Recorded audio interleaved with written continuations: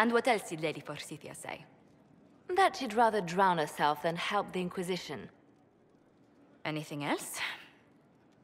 She said she'd have us flogged alive if we allied with her brother. That does sound like her. Cheer up, Josie. We at least have her attention. You always do find the brighter side of things.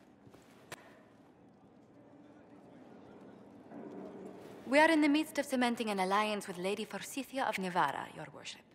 It's become a somewhat delicate task.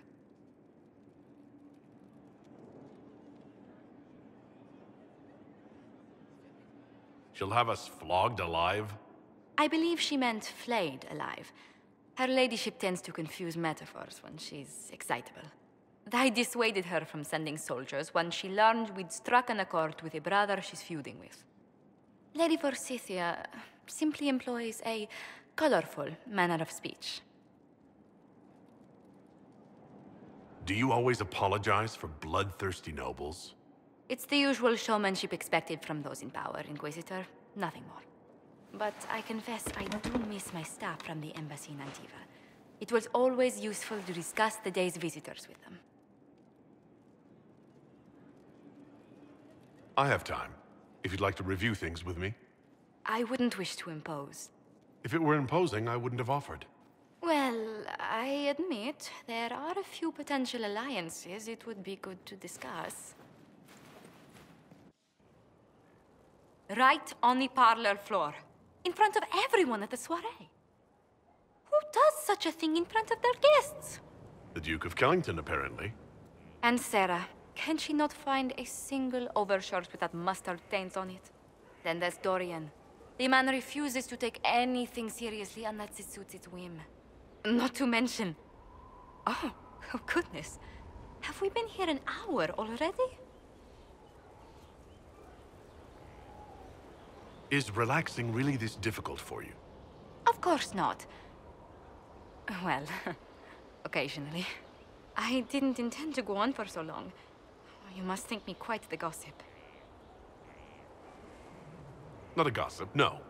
Just not terribly concise. I attempt to keep to the heart of the matter in any discussion, Inquisitor. In any event, I should be going. But I leave feeling less troubled than I have in weeks.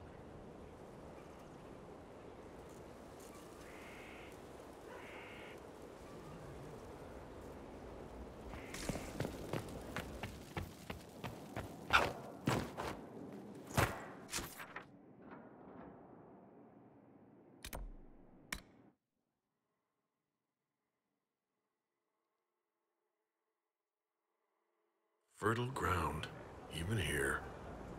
This hold has everything.